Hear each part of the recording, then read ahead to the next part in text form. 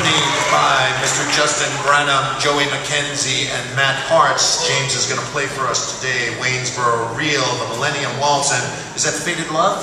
Faded Love for the Teen of choice. Ladies and gentlemen, a warm welcome for James Schlender.